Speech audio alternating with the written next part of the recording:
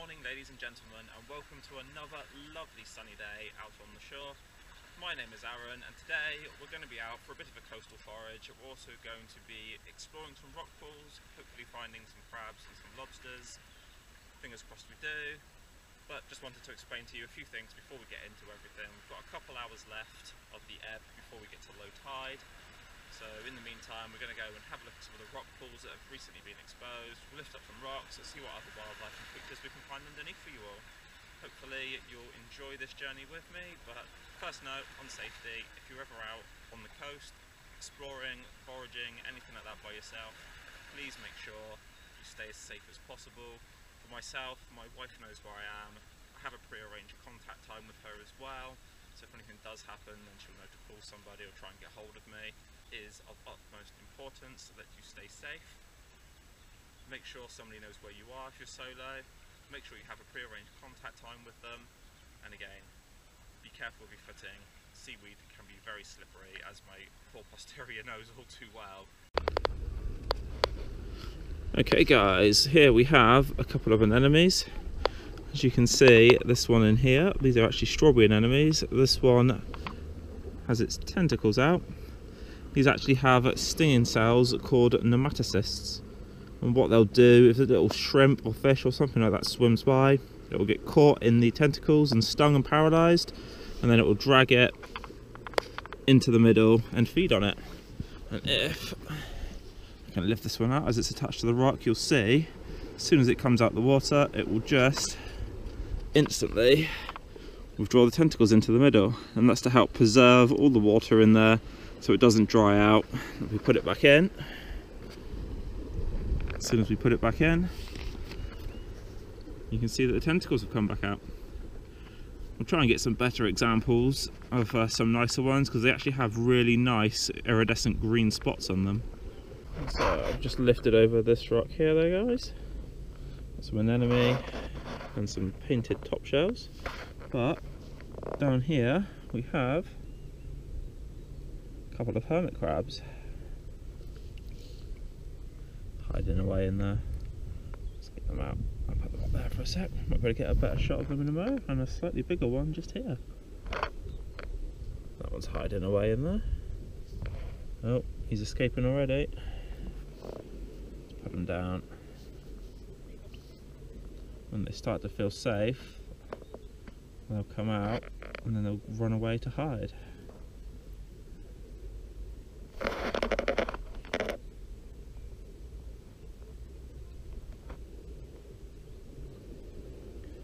Interesting thing about hermit crabs there guys is when they actually outgrow their shells they'll come up onto the shell there's another one just going under there. I'll flip this rock back over. Yeah. Interesting little thing about hermit crabs is that when they outgrow the current shells that they're in they'll come up onto the shoreline to find empty ones. And then they'll um, evacuate their home that they're currently in find a new bigger shell and take over that one until they outgrow that Alright there guys, hopefully you can see down there underneath this rock we have a nice little fish. See if we can move it without spooking him too much. Let's see what we've got. Get a better look at him from here. Come here little fella. Oh, way. The way he goes. Hidden over there now. This rock back. There he is. Pretty camouflaged in as you can see. Alright there guys, hopefully the GoPro will pick up the coloration alright. But just down there we have a nice big strawberry anemone. It has beautifully big iridescently green spots.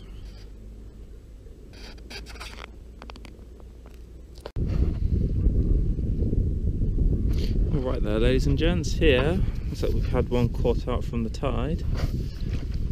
We have a Xantho crab. Other names for them are pie crusts or furrowed crabs.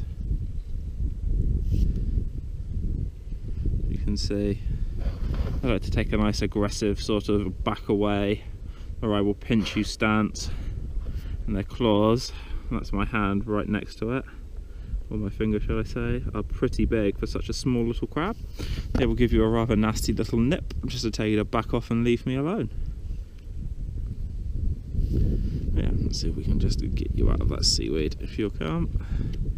They really do cling on to the rocks and seaweed with their back legs pretty well. I don't want to hurt the little guy. Let's see. Can we get you off without getting nipped? There we go. And this one is actually a male.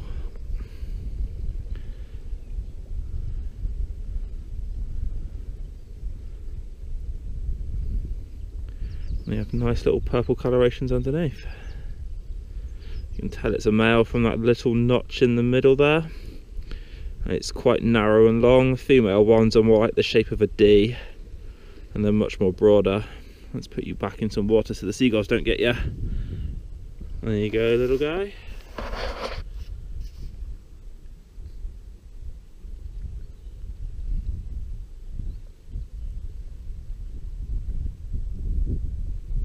And away he goes. Well, looks like we have another weight to add to the collection. What we'll do with these is whenever I find them is I take them off the shore because I don't want them to pollute the water and I'll um, dispose of them correctly when I get back home.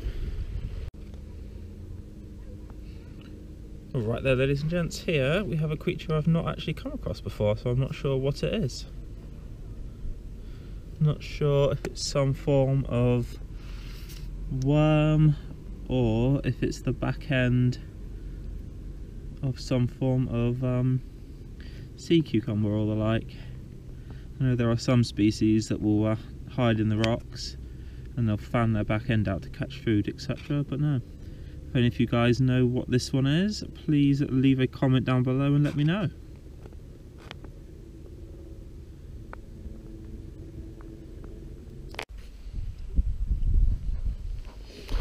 in here we have what looks like to be the remains. Or maybe even a molted shell of a velvet swimmer. Ooh. Oh yeah. So this would be actually quite a rather nice size velvet swimming crab but this would be the molted remains actually. With that being the gills there that was probably actually an eaten one.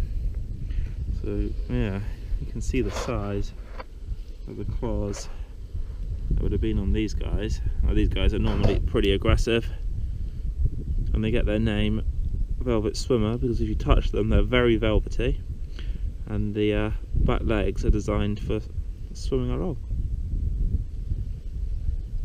Yeah, obviously, just a word to the wise again, if you ever come across something like this, you never want to forage it unless it's alive, you don't want to make yourself ill at all. Yeah, we'll get it back in and let the uh, wildlife finish eating it.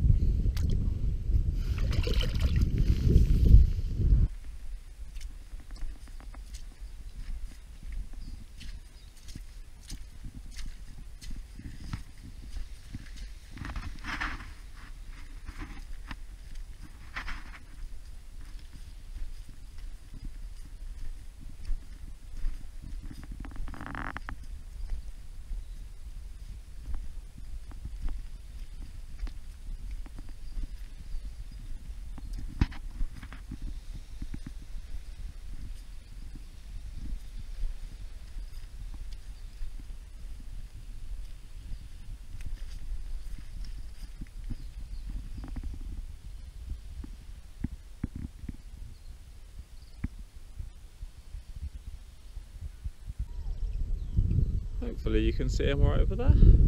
We have what looks like to be a cormorant basking in the sun. Also probably waiting to try and catch its dinner as well for any stray crabs that haven't quite hidden yet.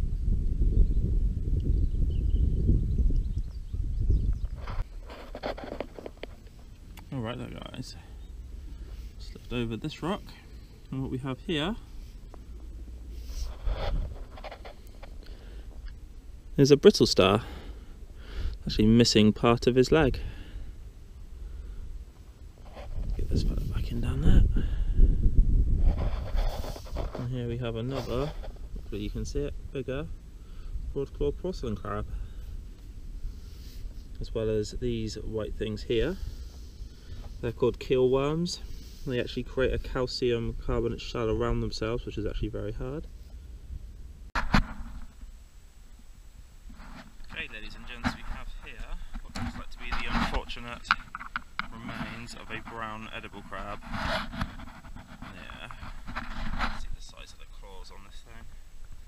Quite solid as well, which is a shame. R.I.P. little guy. But yep, just wanted to talk quickly about when you find things like this. So, first of all, whenever you're foraging out on the shoreline for any form of crustaceans or seaweed or anything like that, please make sure you check your local area to make sure that you are picking things up that is within your bylaw. So for myself down in Cornwall, for a brown edible crab such as this, a male one would have to be 160 millimetres from the longest part of the shell, or 16 centimetres, and a female would have to be 150 millimetres or 15 centimetres.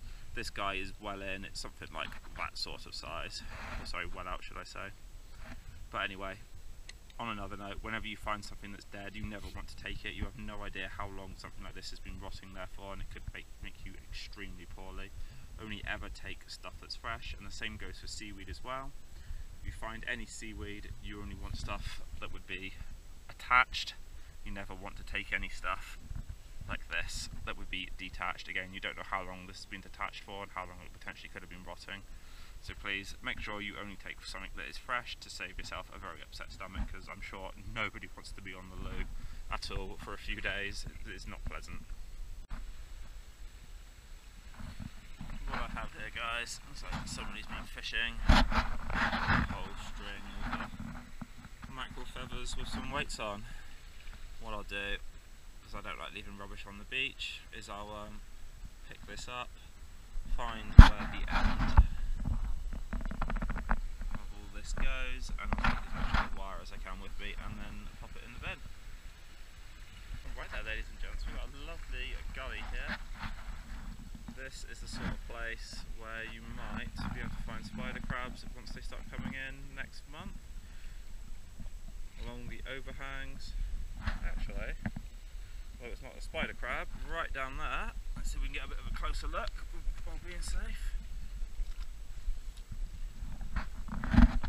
guys can see it well. We have a sea star.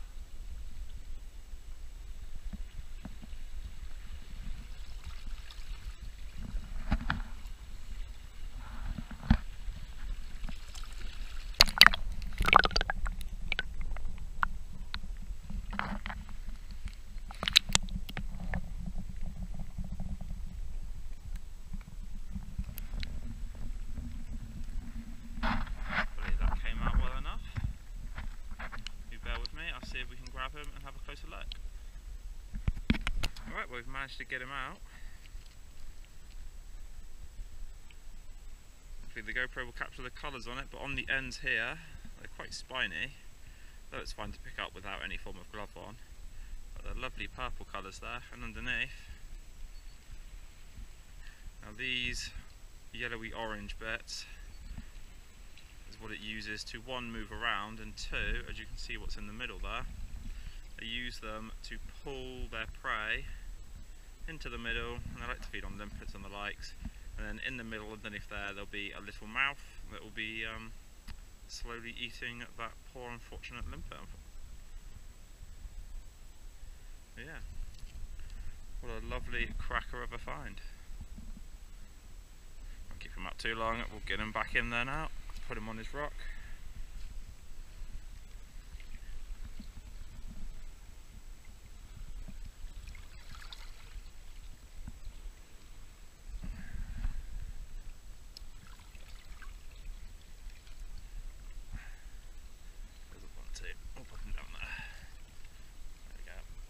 he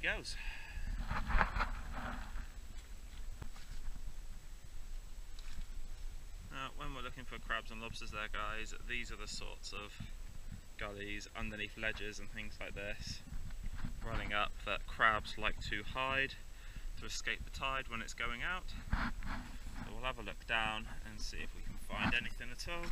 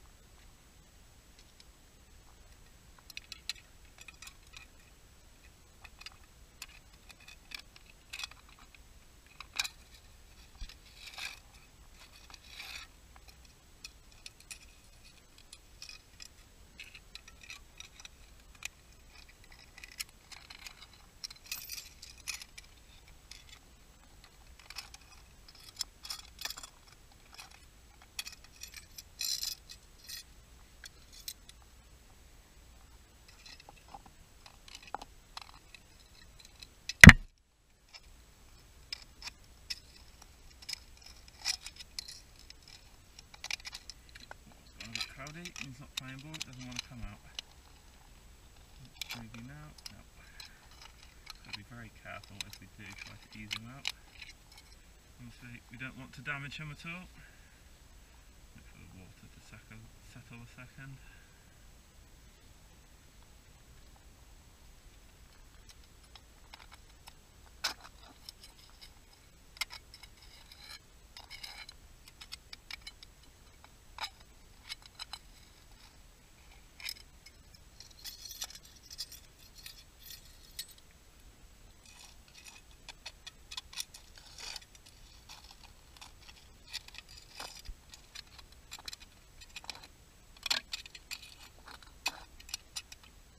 He's wedged himself in there pretty good. I don't think we're going to be able to get him out, unfortunately. No.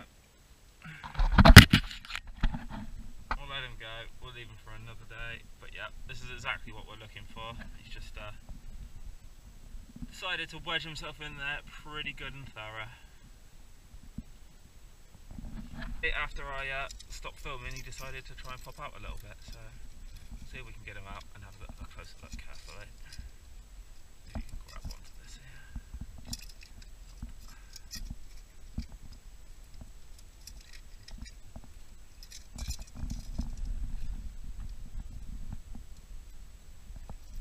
Come on, you. Want to do this carefully because we don't want to damage him. No, he's going upside down. There we go. Sealed his own fate from getting out. Now obviously this one is way too small to keep. And I've been calling it a he, but it's actually a female. You down there a second. This pad here is how you can determine whether they're male or female. When it's a large pad like that, that is female. Male ones would have much smaller and narrower ones. Alright then with it, let's put you back in there. See if we'll let go. There we go, and away she goes. Back into a hidey hole.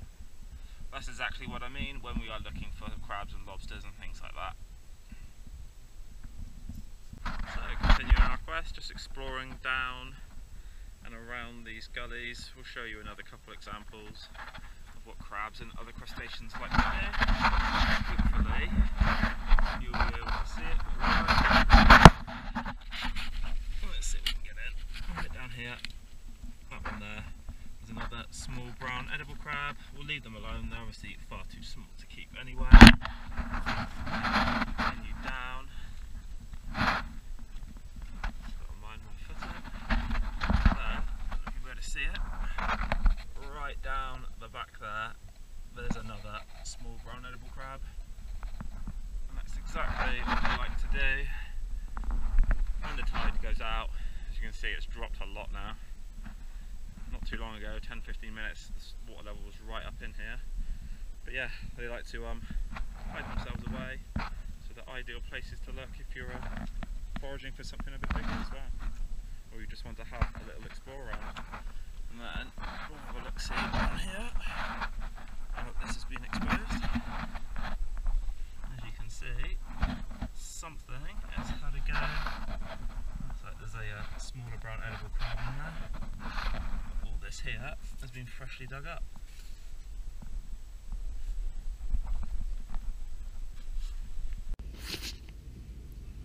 Alright there guys, here we have another prime example of what crabs like to do. Just in the back down there, you might be able to pick him out. There's a furrow crab. I'm not going to disturb him, but I just wanted to show you what they generally tend to do. All this here, all this material is freshly dug out sand. And what they'll do they'll kick out all the sand and go bury themselves in there to get deeper in to help avoid themselves getting eaten from predators. So yeah, when you are looking in the uh, bigger nooks and crannies, this is a sort of telltale sign that you'll be looking for as well. It's a dead giveaway for uh, finding crabs and lobsters. Alright there ladies and gents, as hopefully you can see, right down the back there, there is a brown edible crab do is we'll scrape some of this out.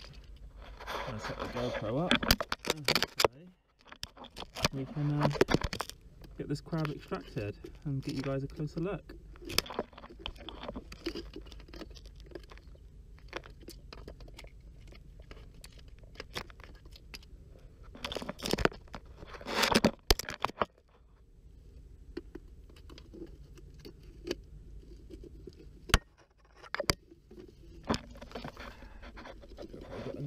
second there.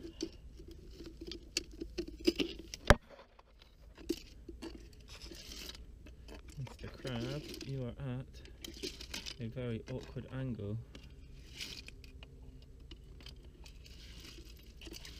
dig some of this away. Don't think.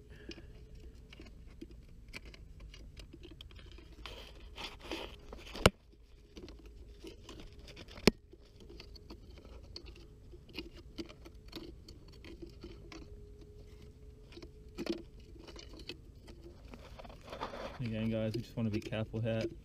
I don't want to harm the crab in any way, shape or form. They do have very tough shells, but it's more about not wanting to break off any of their limbs.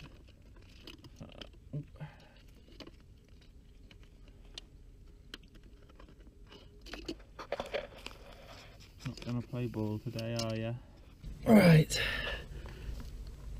There we go we've got this one out. Sorry I couldn't capture that, it was too much of a pain to uh, try and have the GoPro down there in one hand and do it with the other. And this one here is female. You can tell this one's female because of this big pad down the bottom there. Pop it down on her back a sec.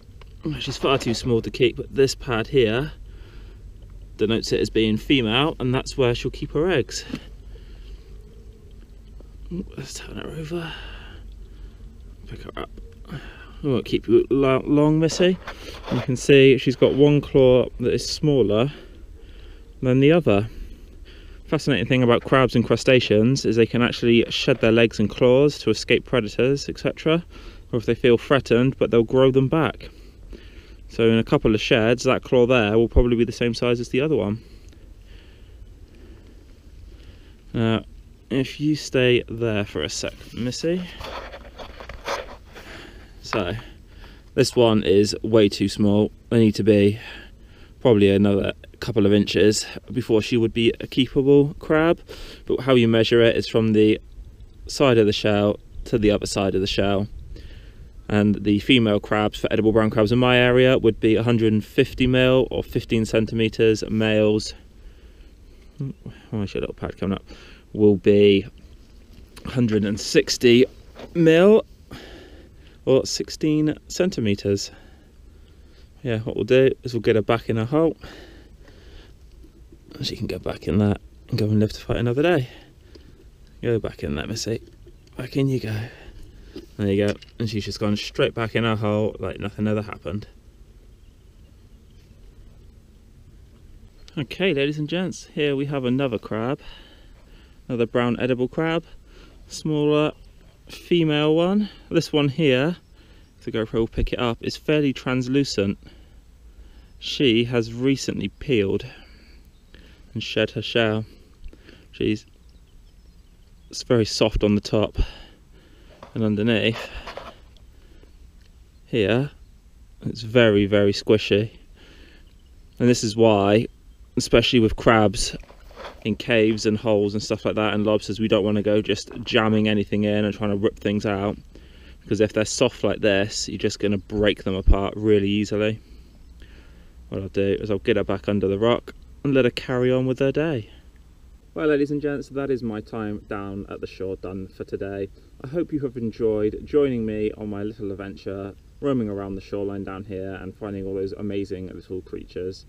And remember if you find any value in this video if you've enjoyed it at all please hit that like button press subscribe and ring that notification bell to get any updates from future videos and posts from myself and remember when you are down by the shore please always make sure that you stay safe, know what the tide's doing. If you're solo, make sure somebody knows where you are and you have a pre-arranged contact time.